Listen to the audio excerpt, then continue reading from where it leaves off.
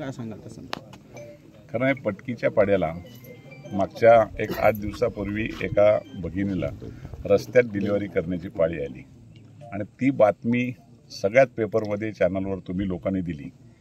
आणि त्यामुळं मला वाटलं का जर रस्त्याअभावी जर अशा प्रसंग त्या गावावर असेल तर त्या ठिकाणी आपण जाऊन यावं. आणि आपल्याला काही मदत करता येते का ती करण्याचा प्रयत्न करण्यासाठी मी खास करून इथं आलो आहे मला हे सगळ्याच आमच्या आदिवासी भगिनीने पण आता सांगितलं कसं आहे, केवळ ही एक नाही डिलिव्हरी त्याच्या अगोदरसुद्धा झाल्यात आणि त्याच्याहीपेक्षा सर्पदंशाचे पेशंटसुद्धा दगावले जातात कारण त्यांना येता येता रस्त्यातच तो दगावला जातोय. हा जर प्रसंग असेल तर तो रस्ता होणं गरजेचं आहे.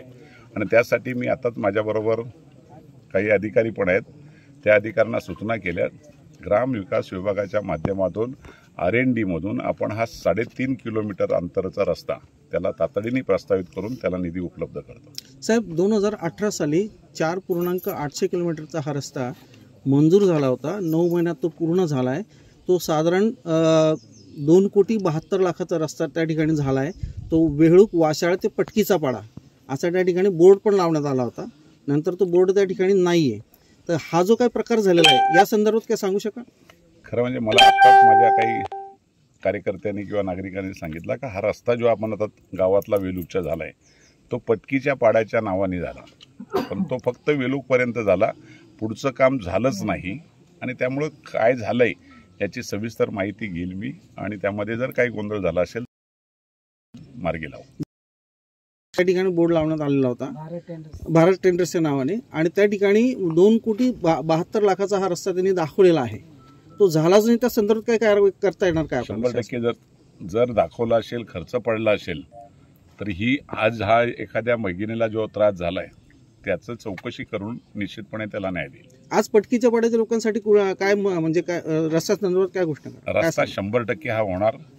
रस्त्याला तातडीने त्याला मान्यता घेण्याचा माझा ताबडतोब प्रयत्न आहे. खरं म्हणजे मी त्याच्या अगोदर सुद्धा मी आमचे खैरनार इथंशी उपअभियंता आहेत. मी ग्रामविकासच्या माध्यमातून पन्नास लाख रुपयाचा निधी तातडीने पण आज पण घोषित करत होतो.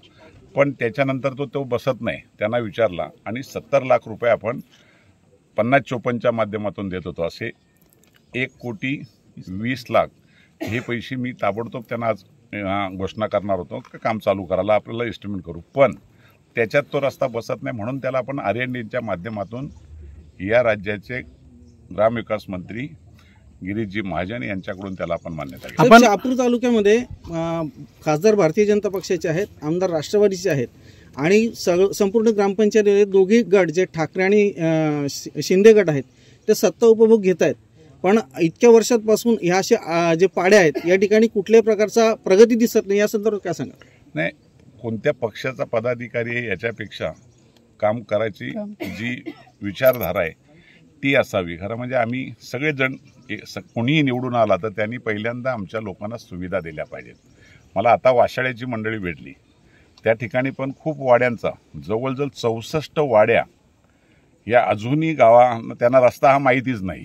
कितीतरी विद्युत पुरवठा नसलेली गावं आहेत. मी त्या बाबतीमध्ये निश्चितपणे ग्रा याच्या आदिवासी मंत्र्यांच्याकडं बैठक लावून त्या वाड्यांना जोडणारे रस्ते त्यामध्ये घेण्याचा प्रयत्न करतो. त्यामध्ये काही ठिकाणी वन विभागाच्या अडचणी आहेत.